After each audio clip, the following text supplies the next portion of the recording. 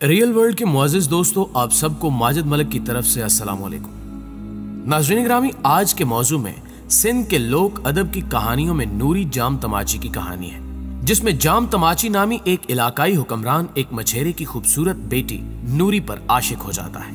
दोस्तों, इस फानी दुनिया की तारीख, मोहब्बत और इश्क की कई दास्तानों और अफसानवी किरदारों से भरी पड़ी है, और ये ऐसी ऐसी कहानियों से भरपूर है, जिनका शायद ही हकीकत से कोई ताल्लुक हो।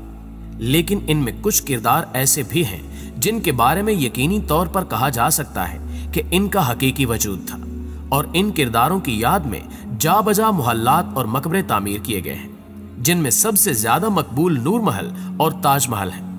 लेकिन इन्हीं कहानियों से मुशाबत रखने वाली दास्तान, नूरी और जाम तमाची की भी है, जिसने इश्क मोहब्बत की एक और बेमिसाल दास्तान रकम की। नाजन ग्रामी, जैसे कि वीडियो के आगाज़ में बताया गया कि इस कहानी का ताल्लुक सिंध के शहर कराची से 122 किलोमीटर दूर जिला ठट्ठा से है। ठट्ठा में केंजर नामी एक झील के बीचों बीच एक कब्र मौजूद है, जिसका ताल्लुक इस कहानी से बनाया जाता है, जो जाम तमाची के मुतालिक है। कहा जाता है कि समा नामी एक खानदान के मशहूर हाकिम, जिन्हें जाम तमाची के नाम से जाना जाता था, कि अहद में केंजर झील के इर्द गिर्द बहुत से मछेरे रहा करते थे। वो मछली पकड़ते और उन्हें बेचकर अपनी ज़िंदगी के शबो रोज गुजारा करते थे।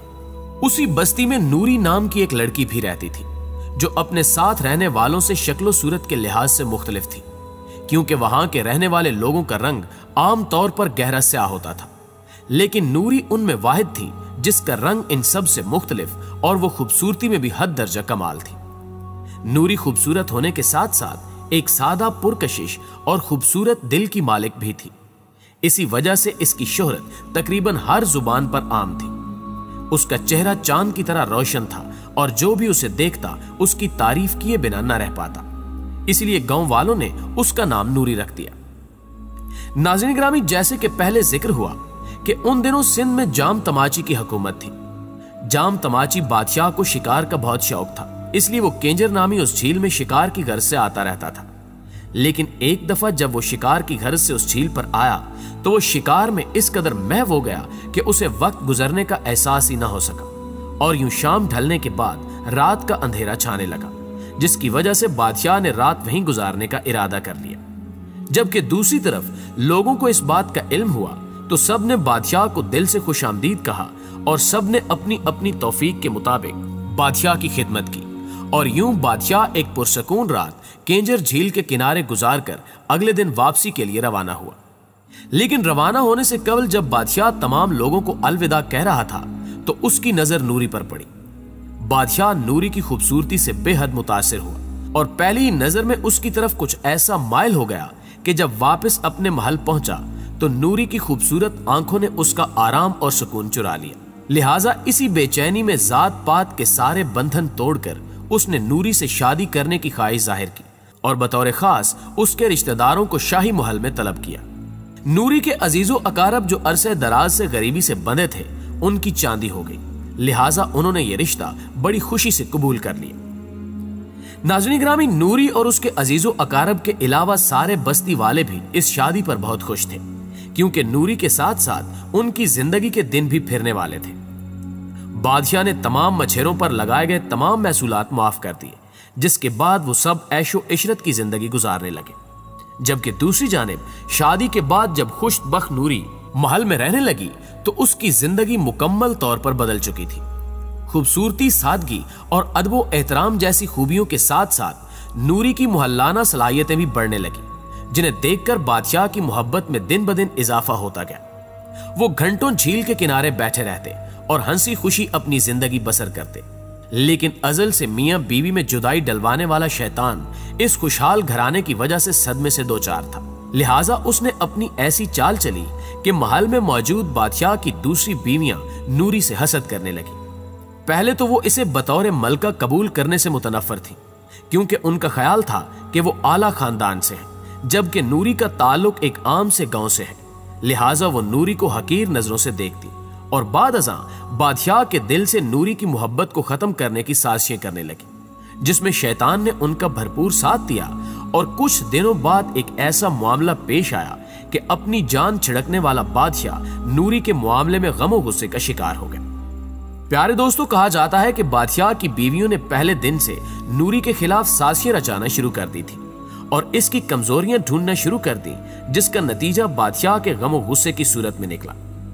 आखिर ऐसा क्या हुआ कि बादशाह जिस बीवी से इस कदर मोहब्बत के दावे करता था, उससे चंद लम्हों में ही मुतनफर हो गया।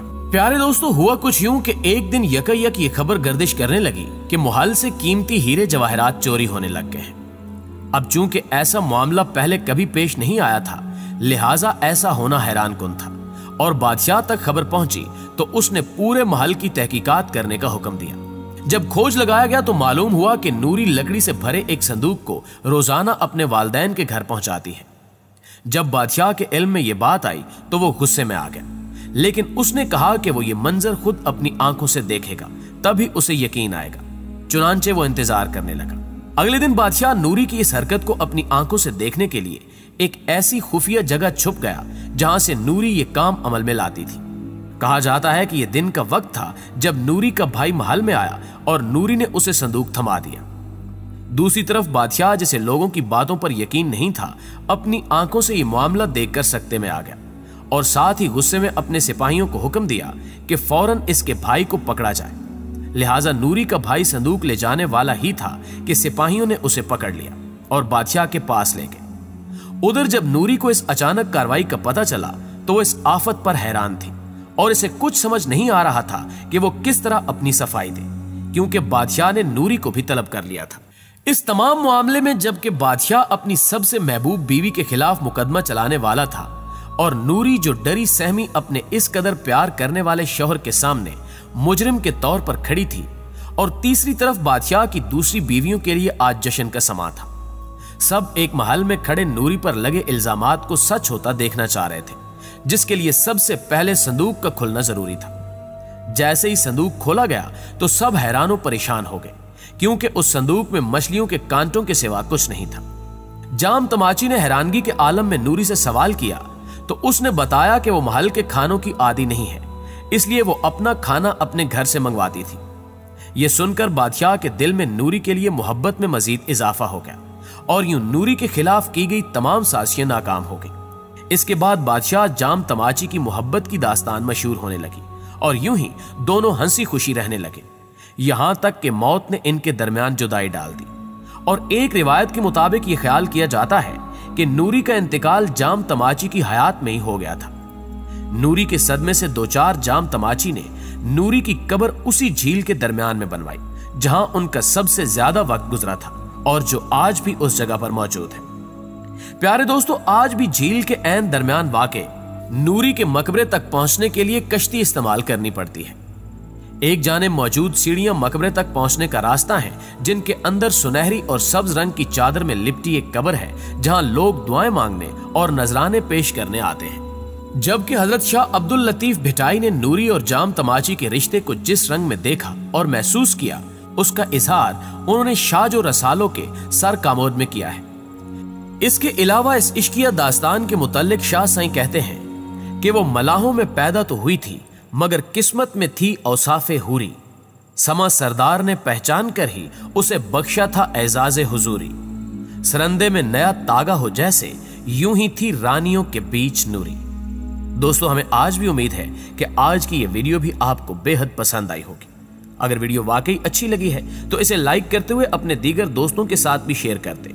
न्यूज़ चैनल पर नए शामिल होने वाले दोस्तों से गुजारिश है कि रियल वर्ल्ड को सब्सक्राइब करते हुए साथ मौजूद घंटी के बटन को भी दबा दे, ताकि इसी तरह की दीगर नौ की वीडियोस भी आप तक बाकायदगी के साथ पहुँचते रहें।